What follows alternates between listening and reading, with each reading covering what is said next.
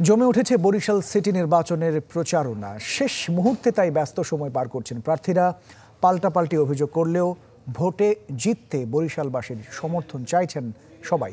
আর অন্যদিকে, সুষ্ঠু ভোট নিয়ে কিছুটা শঙ্কায় রয়েছেন ভোটাররা। এবার নগদ দিয়ে মোবাইল রিচার্জও জিতে নিতে পারেন বিএমডব্লিউ গাড়ি।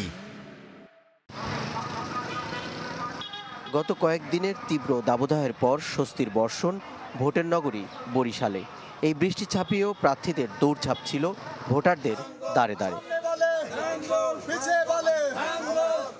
নগরীর একটি রেস্তোরাঁয় সতেরো দফা ইশতেহার ঘোষণা করেন ইসলামী আন্দোলনের প্রার্থী সৈয়দ ফয়জুল করিম। ভোটে জিততে সমর্থন চান নগরবাসীর। কাউকে দেওয়া কোনো আবেগ বা দলীয় বিষয় নয়। বরং এটি একটি নৈতিক বিষয়। তাই বুঝে শুনে চিন্তা ভাবনা করে ভোট দিতে হবে। দল মত জাতি ধর্ম বর্ণ নির্বিশেষে সকলের জন্য সুশাসন প্রতিষ্ঠিত করবে।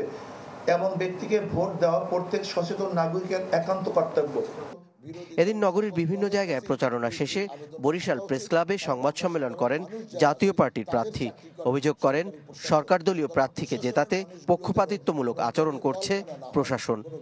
নির্বাচনের আগেই একটা প্ল্যাটফর্ম তারা তৈরি করে ফেলেছে যে প্ল্যাটফর্ম নিরপেক্ষতার নিরপেক্ষতার প্রমাণ রাখতে ব্যর্থ হয়েছে। তবে অভিযোগ অস্বীকার করে সরকার দলীয় প্রার্থী আবুল খায়ের আবদুল্লাহ বলেন আওয়ামী লীগের শক্তি জনগণ। ভোটে জিততে বরিশালবাসীর সমর্থন চান তিনি। নিজের নির্বাচনী এলাকায় করেন উঠান বৈঠক। জনগণ যে আন্তরিকতার সাথে আমাকে গ্রহণ করেছে ইনশাল্লাহ আমি বিশ্বাস করি। মানুষ আমাকে ভোট দিবে। প্রার্থীদের এমন অভিযোগ পাল্টা অভিযোগে সুষ্ঠু ভোট নিয়ে কিছুটা শঙ্কায় ভোটাররা। এখন পর্যন্ত দেখা যাইতেছে যে সুষ্ঠু পরিবেশ আছে। এখন ভবিষ্যতে কি হয় সেটা তো বলা যায় না।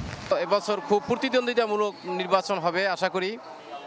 সবাই বেশ প্রচারণার বেশ তুঙ্গ অবস্থানে আছে। নৌকা এবং হাত পাখার মধ্যে এক ধরনের সমান প্রতিযোগিতার সম্ভাবনা আছে।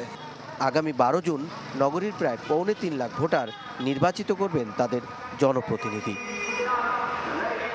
শেষ সময়ের প্রচারণায় বরিশাল সিটি এখন ভোট উৎসবের নগরী।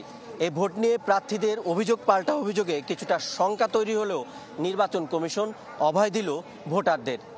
ভোটাররা আগামী বারো জুন নির্বাচিত করবেন তাদের জনপ্রতিনিধি। Ahsan Himel, channel twenty Barishal.